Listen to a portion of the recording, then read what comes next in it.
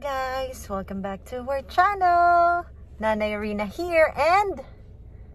What's your name? Aiden. Aiden.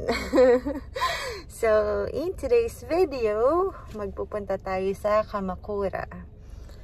Date with Tatay and AM. Say hi, baby. Hello. Hi. wow, you're wearing what? Grapes. Gloves. so, yeah. Um, update ko na lang kayo guys later. Then turn right.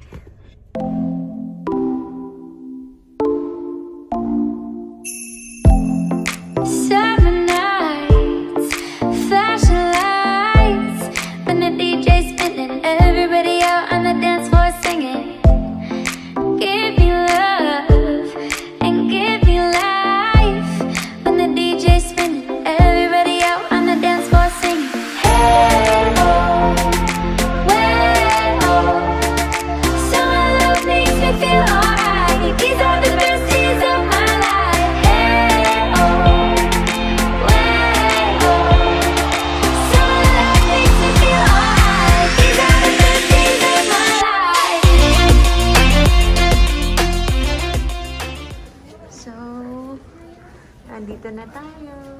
Second floor siya. Ayan. Tatay! Tulog si Evie. So, ito yung seasonal um, pancake nila. Ayan. Strawberry season kasi ngayon. And ito yung menu nila.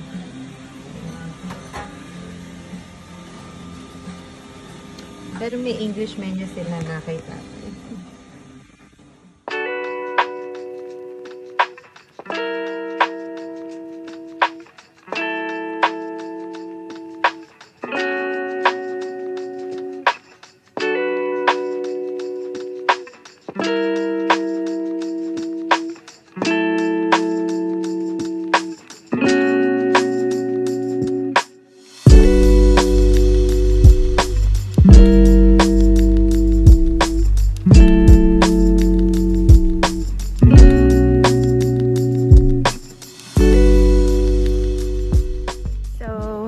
it? How was it? Overload. Yeah. Food coma. Sobrang laki pala ng servings niya. So, pwede ka nang mag, pwede nang maghati dun sa ah, isang plate. Right? Yeah. For three. Yeah. Pang, ta- pang tatlong tao yun. So, dito sa may Kamakura, maraming, dito sa may um, place na to mismo, mas maraming mga ano, pwede kang kainan, Pika-pika. mga pika-pika, and may mga stores din. Mga nagbebenta ng, Street food. yeah. Dami. Yeah, marami. Babalik tayo dito kasi late na kami naka, nakapunta dahil na traffic kami. So, yeah. Balik na lang tayo ulit next Mas time. magandang pumunta pag ano, Kapag, umaga. tsaka kapag kami cherry blossoms na. Yeah. Babalik tayo dito. Cherry Kasi, blossoms. yeah. Kasi may isang mahabang, mahabang ah, lalakaran dito na, Fruit cherry blossom. yeah, puro cherry blossom. So. Yeah, I think mga March ba?